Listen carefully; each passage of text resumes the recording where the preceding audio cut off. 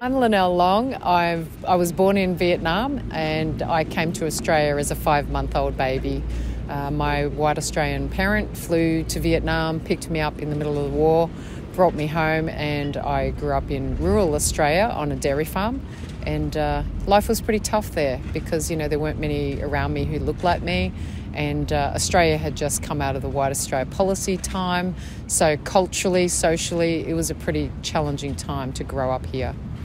Post adoption services need to be for the lifelong of our journey and they need to continue past our lifetime into our second and third generation. Post adoption services, they need to continue on in, you know, for the whole of our life and past our life, in fact, because our children will also need to know who we are if we didn't do it in our lifetime. Um, Post adoption support services need to in- include so much, you know, from the simple needing access to your documents support, the translation of those documents, the searching for your family, the reunification with your family.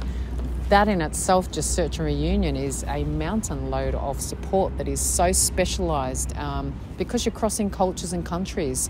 You know, a huge part of the challenges of um, search and reunion is that we don't normally grow up speaking our birth language.